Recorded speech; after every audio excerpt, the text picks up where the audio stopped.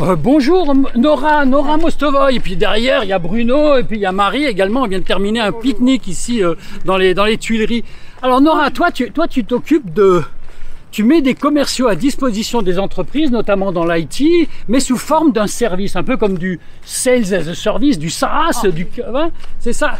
Alors dis-moi, c'est quoi les trois situations dans lesquelles on a besoin de services comme les tiens? D'accord, Loïc.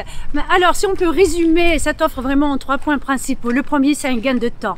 Quand on prend un commercial en prestation de service, euh, contrairement à un recrutement, on n'est pas obligé de le qualifier pendant des mois. Euh, donc on peut disposer tout de suite du commercial.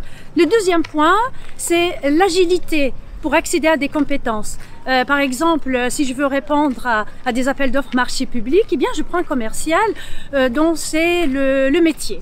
Le troisième point, c'est la performance, parce que les commerciaux qui interviennent en prestation de services, ils interviennent sur leur terrain de jeu. Par exemple, la reconquête client, ben, un commercial qui intervient sur ce sujet-là, il aime faire ça, il est performant dans ce qu'il fait et donc il partage cette performance avec l'entreprise qui le prend juste pour le temps pendant lequel elle a besoin de cette compétence. Eh mais je trouve ça vachement clair ce qu'elle nous a expliqué là. Bruno, tu trouves pas hein, On, on l'a répété tout à l'heure ensemble. Bruno, est-ce que tu avais un, un complément à rajouter sur ce qu'elle a dit, notre ami On voit bien dans quel genre de situation, en fait, euh, c'est intéressant. Oh, bah, merci Bruno, bah, super. Alors si c'est clair. Ah bon Oh, Alors vous trouverez Nora Mostovoy, ça s'écrit comment Mostovoy Oh là là, c'est trop lent. M-O-S-T-O et puis la suite. V-O-I, c'est ça V-O-I à la Sur fin. LinkedIn, hein, évidemment. Tout à fait. Merci Nora, à bientôt. Bye. Merci les amis. Au revoir.